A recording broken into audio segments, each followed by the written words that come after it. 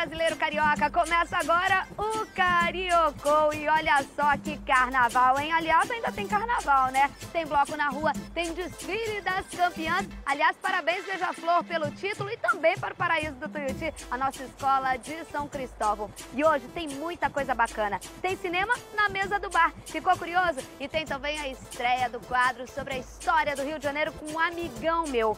E olha, para começar, a gente tem aqui um craque de bola. Neymar, CR7, que nada, o nosso camisa 10 é ele, Topetão. Quero ver se é bom mesmo. Vamos lá. Agora, faz o programa, gravando, com ansiedade, com expectativa. Ele consegue... Ele tá aqui com a gente com muita aventura. Carnaval e futebol, né? Né? Ó, uma combinação perfeita. E o povo brasileiro adora esse carnaval maravilhoso e o futebol também. Com né? certeza. Quer dizer que a gente tem hoje uma aventura futebolística. Isso, uma aventura na casa, ó, Ah. na casa do futebol, tá? Onde o Brasil, o mundo inteirinho sempre aplaude, sempre tem que reverenciar. Deixa eu ver, eu tenho uma chance pra acertar? Acho que tem sim. Então, 3, 2, 1, Maracanã! Vamos ver agora? Vamos lá, vamos Rodou? lá. Agora, Rodou? Férias com Topetão. Oferecimento Tralalá. Crescendo com você.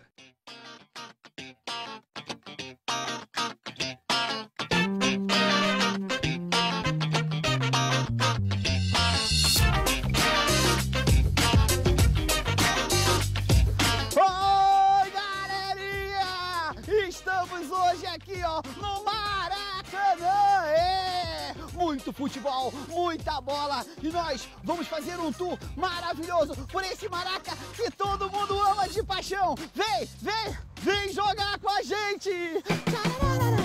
Vamos lá!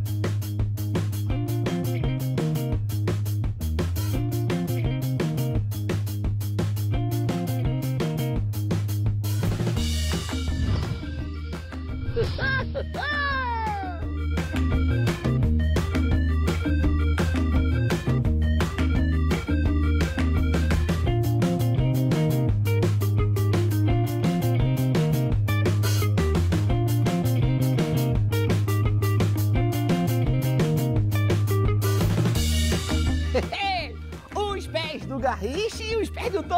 Os pés do Garrincha e os pés do Topetão! Os pés do Pelé e os pés do Topetão! Os pés do Pelé e os pés do Topetão!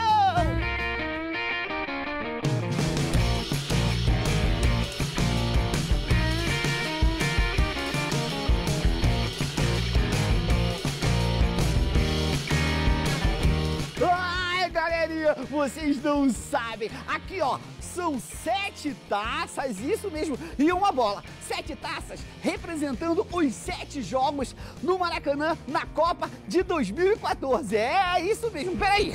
Ué, 7 a 1? Ai, eu não quero lembrar disso não. Vamos, galera, vamos!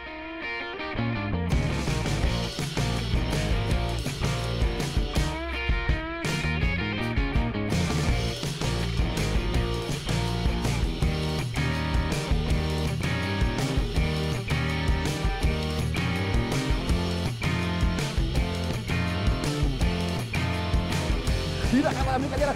Laranjinho para a esquerda, para Contou agora. Ele vai jogar para cima. Joga para cima do jogador. O goleiro pega agora. Lá vai Laranjinha. Laranjinha jogou quase que acerta no meio de campo. Lá vai agora. Agora dando gol. Gol!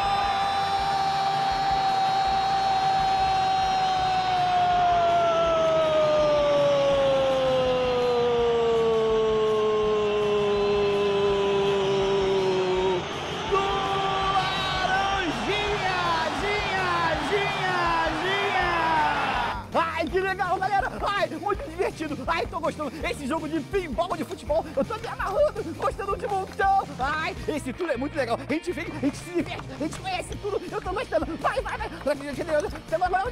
Gol, gol, gol, gol, gol, gol!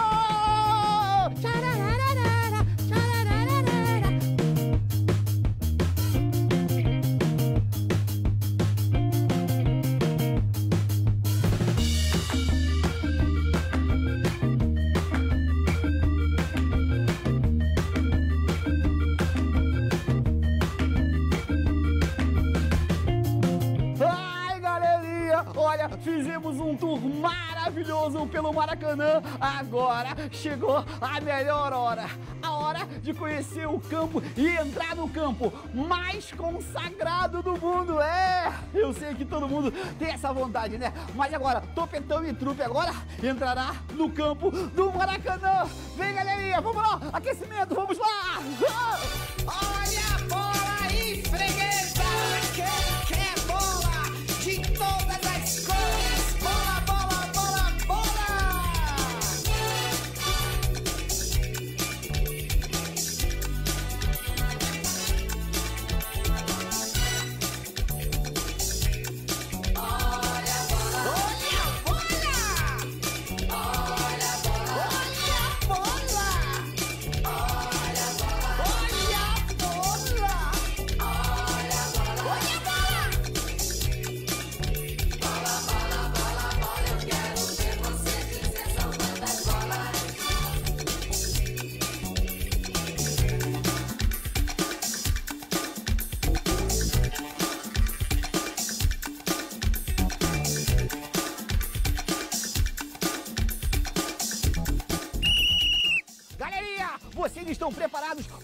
grande jogo aqui no maior estádio do mundo, no Maracanã?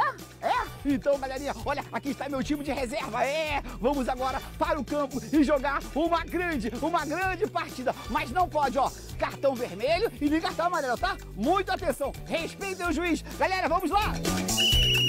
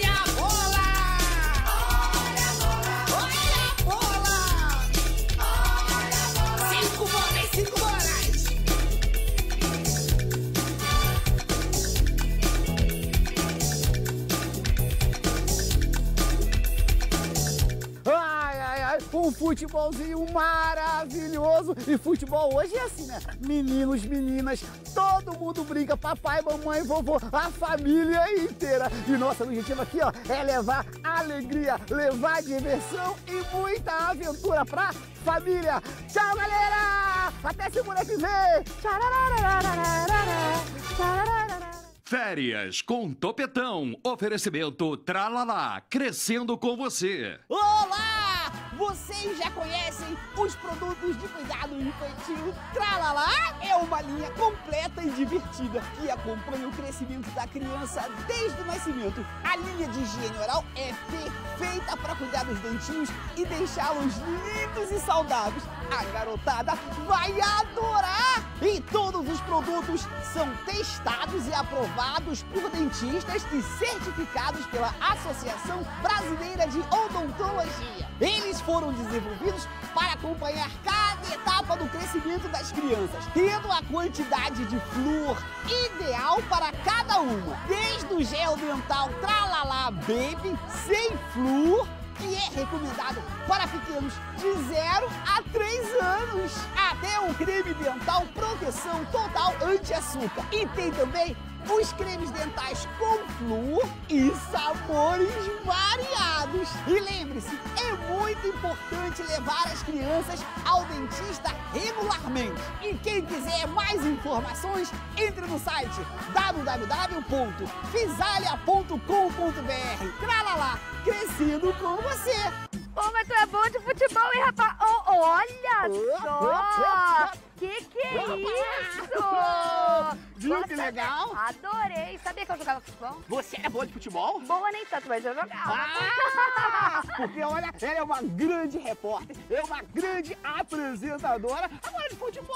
Ah, não, da não, próxima vez. da próxima vez a próxima gente vez. pensa. Você gosta de pipoca? Adoro Vai pipoca. buscar uma pipoca então e assiste que eu vou Ah, chamar é? agora. Eu vou levar essa pipoca pro meu circo. Vou buscar pipoquinha. Tchau, Topetão! É isso aí, a gente foi conhecer uma outra figuraça, o seu Ailton, um pipoqueiro artista. Muito legal, veja só. Hoje a nossa equipe veio até a Praça Xavier de Brito, na Tijuca, zona norte da cidade, para conhecer uma figura super famosa. O Ailton, que interpreta vários personagens. Ele vem de pipoca e alegria.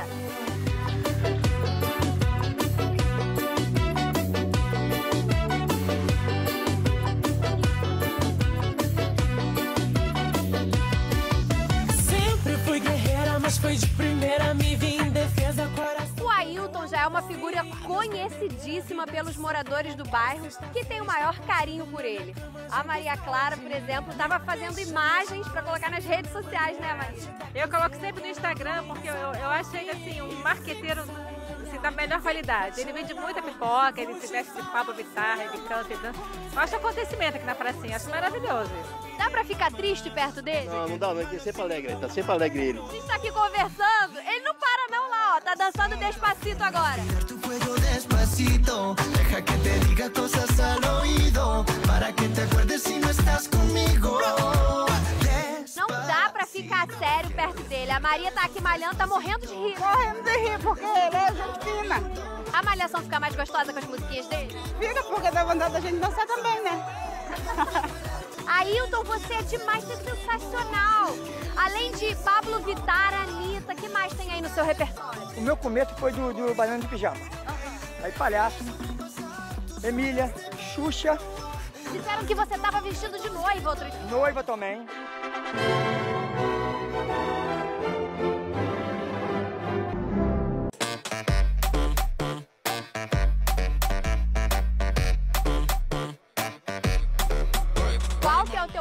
Personagem preferido do Ailton? Ah, é o Jack Sparrow, pirata. Qual foi a fantasia mais engraçada que ele já colocou? É uma que ele usa um chifre assim. Meu amor! Por que que você resolveu se fantasiar? Primeiro botei uma carrocinha, botei o, o Banana de Pijama, meu começo. E eu tirei um sorriso de uma criança. Isso me comoveu muito. Eu falei, é isso aí que eu vou fazer. É isso que eu vou começar a trabalhar. O que, que você acha desse pipoqueiro? Ah, engraçado, né? A filhinha tava chorando porque queria se despedir dele. É, queria, toda feliz, toda alegre. Queria ir embora da praça. Queria ir embora, por causa da alegria que contagia. Vem cá, Gabriele. Quer dizer então que você que ajuda a produzir esses personagens? Sim, né? Fazer o quê? É, a gente faz a maquiagem, eu e minha irmã Paloma. Às vezes a gente ajuda com o figurino, né? Fala assim, ah, pai, essa roupa ficaria melhor, essa não ficaria melhor. Já emprestou alguma blusinha, alguma saia aqui pra ele? Uma blusa? Não, um vestido da minha mãe. Talvez. Meu guarda-roupa já não tem mais espaço, né? Né, filha? É o contrário, né? Na maioria das casas, a mulherada tem mais coisa que os homens. Lá na sua casa é o contrário. Tem dois espaços, todo mundo tá. Eu e minha irmã temos um, minha mãe tem metade, ele tem dois espaços, inteiro pra ele. É. Não para, não. Vai malandra, ah, ah. Eita louca, tô brincando com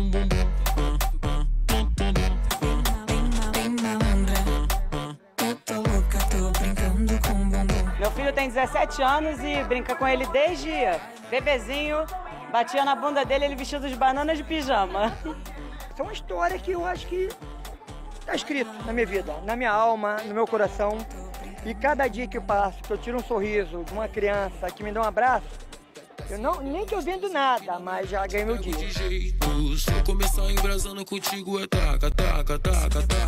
Isso rebalo gostoso, empino te olhando, te pego de jeito. Se começar embrasando contigo é. Não vou mais parar. Sinto muito orgulho, não tem como não sentir, né? Ele é o melhor, ele é um ótimo pai, é um ótimo poqueiro, é um ótimo animador. Quem dera que todo mundo fosse igual a ele. Beijo, carioco! Desse tamanho! ó.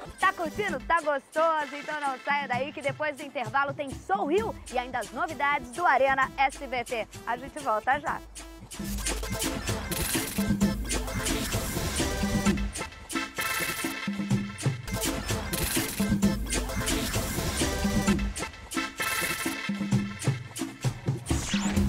Carnaval acabou, mas você ficou com gostinho de quero mais? A gente te ajuda. SBT Folia com Max Maia. Vai daí, Max!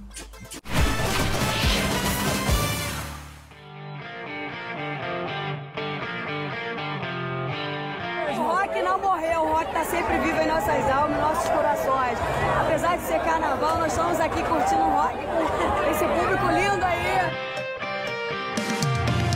Especial Folia está no Não Deixe o Rock Morrer em Botafogo. O bloco mostra toda a diversidade do carnaval carioca.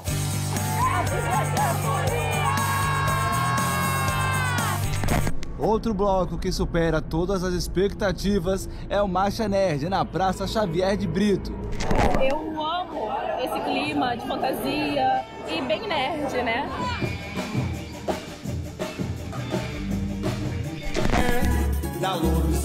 O carnaval ainda não acabou. Hoje tem Banda da Penha, às 16 horas. Bloco da Ressaca Pedra de Guaratiba, às 17 horas. Agora a Anitta tá no comando do Bloco das Poderosas, no centro. Amanhã tem monobloco no aterro, concentração às 6 horas da manhã. União da Ilha do Governador, às 10 horas. E fofoqueiros de plantão na rua Jardim Botânico, às 10 horas da manhã.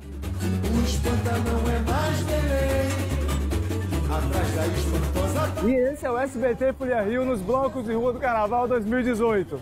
Já sabe, brincadeira esquentou, use camisinha. Até mais!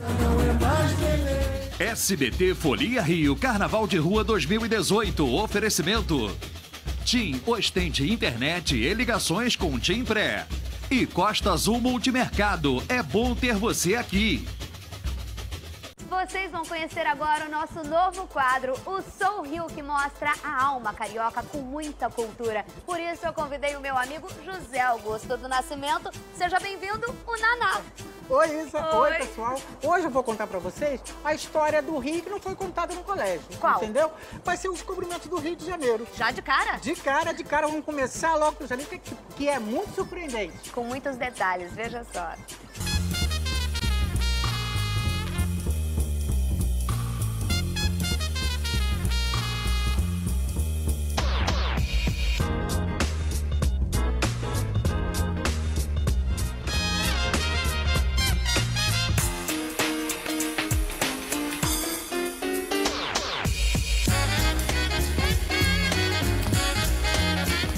Falar dessa cidade, pra quem é carioca da gema como eu, é muito fácil. E hoje eu vou contar uma história de um rio que já passou.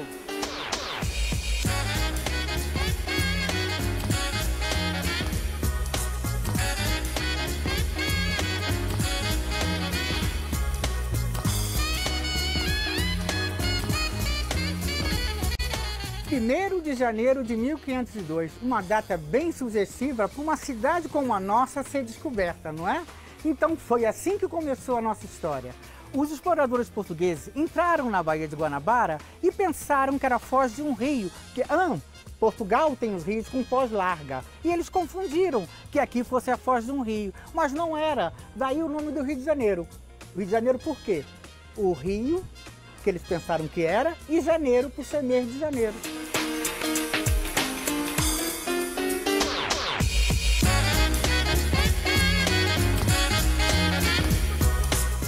Carioca, o que significa essa palavra? É uma palavra de origem indígena, não é? Cari significa homem branco, oca, casa.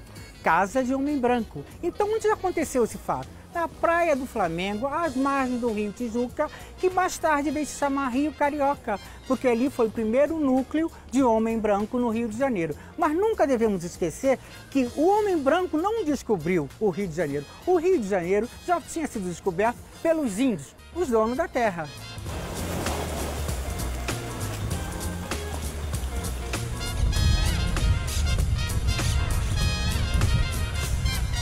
Rio de Janeiro, conhecida na Europa como terra dos papagaios. Eu vou contar um relato dos donos da terra.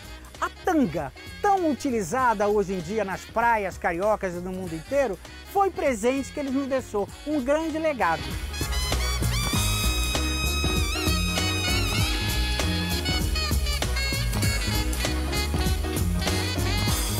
Espero que vocês tenham aprendido um pouco mais da história da nossa cidade. Isso é a alma carioca, isso é o Sou Rio.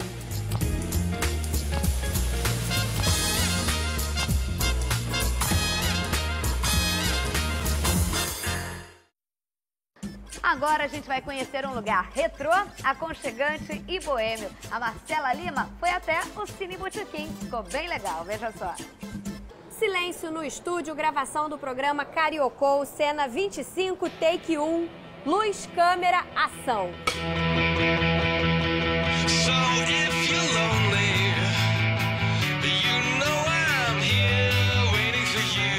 A gente veio conhecer um bar temático, feito para aqueles que não abrem mão de um chopp bem gelado, mas não tiram o olho do filme. Sejam bem-vindos ao Cine Botequim. E já que a proposta aqui é fazer com que as pessoas se sintam dentro de uma sala de projeção, não poderiam faltar as clássicas poltronas de cinema. O Felipe é um dos donos do bar, que foi aberto há aproximadamente sete anos.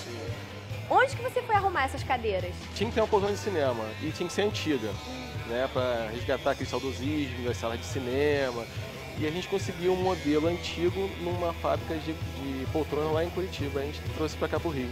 E por que, que você resolveu criar um bar com essa temática? Bom, é, há sete anos atrás eu sou designer gráfico e trabalhava nessa área. E eu sempre fui apaixonado por cinema e por a boemia carioca. E eu colecionava cartazes de filmes antigos e achava que seria interessante ter um bar, né? Então, era um outro sonho meu ter um bar, onde as paredes, as paredes fossem feitas com cartazes de filmes antigos. E daí começou a gerar várias ideias. Não, por que não então ter uma poltrona de cinema? Por que não passar filme no, dentro do bar? Né, o cardápio seco. E aí comecei a fazer um. é, desenvolver essa ideia e vi que estava ficando muito legal. Então esqueci a minha carreira e fui abrir o Cine Botequim.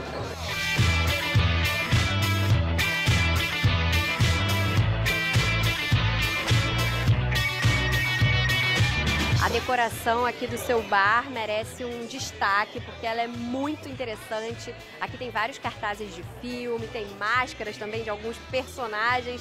Quais fazem mais sucesso? O telefone em formato de Darth Vader, ele é o xodó da casa desde o início. Desde o início as pessoas paravam no balcão, ficavam mexendo nele, telefonavam e virou o xodó da casa bem de cara. Alô, general, eu fui sequestrada pelo inimigo. Precisamos de reforços urgente. Precisamos salvar a República. Vou até lá dar apoio. Não, não, estão fazendo o trabalho deles, nós o nosso. Além da decoração, vocês levaram a temática do cinema pro cardápio? Ah, com certeza. É, é, tanto no almoço quanto à noite, né? O cinema ele também inspira o nosso cardápio. Né? O nosso carro-chefe da noite é chamado a Liga das Coxinhas, que é um cardápio com sete sabores de coxinha e cada uma tem um, tem um nome de um personagem. Tem o Potter, tem o Capitão Nascimento, tem o Rambo, tem o Dom do Don Corleone e elas são é, recheadas com vários sabores, além do frango com requeijão tradicional, tem de costela, tem de carne seca, Então, é bem, bem variado.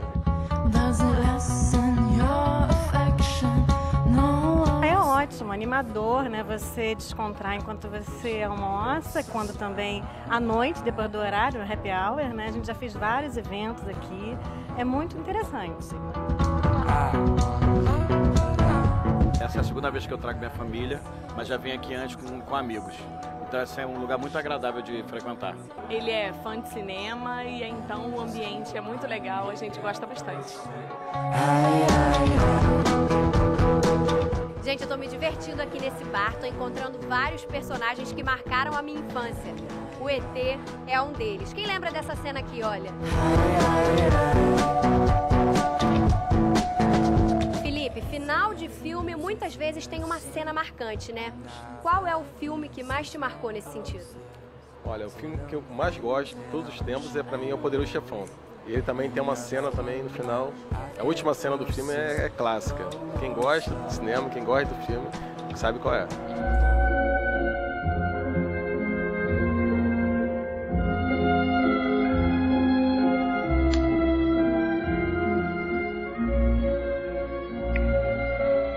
Dal Corleone. E no próximo sábado tem o Arena SBT, um evento promovido pelo SBT Rio com atrações para toda a família. Quem manda o recado é Rodrigo Cadelli. We could let this love be the fading sky. We could drift all night the new sunrise.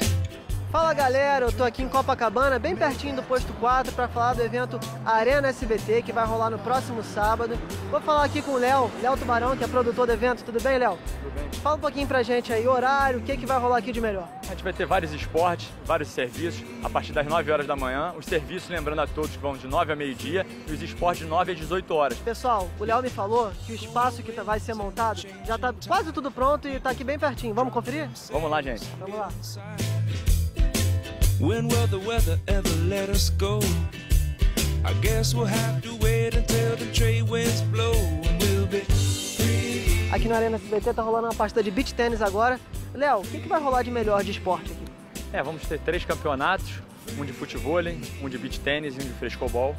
É, hoje a gente está aqui no P4, que é uma da- das partes do Arena, onde vão estar acontecendo aqui na, no posto 4. Eu tava aqui conversando com o Léo, ele me falou que todo esse espaço aqui vai ser feito pra arena. Pra vocês terem noção, são mais ou menos 2 mil metros quadrados, onde vamos ter seis tendas a parte de serviço, três quadras de beach tênis, uma quadra de frescobol, uma quadra de futebol e mais de 600 atletas envolvidos. Gente, é importante que todos compareçam para conhecer um pouco do nosso Arena SBT.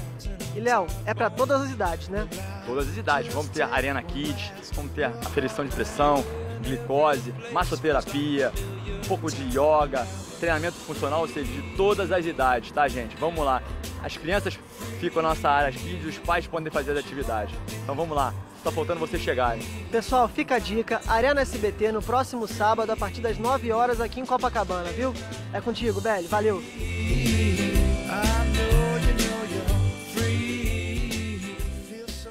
Copacabana, atrações para toda a família, um evento imperdível para o seu final de semana, né? Fica aí a dica. Muito obrigada pela sua companhia. Eu vou ficando por aqui porque ela tá chegando, Mônica Chagas com Esporte Mágico e eu já faço uma pergunta para minha amiga. E aí, Moniquita, tá animada pro Arena SBT?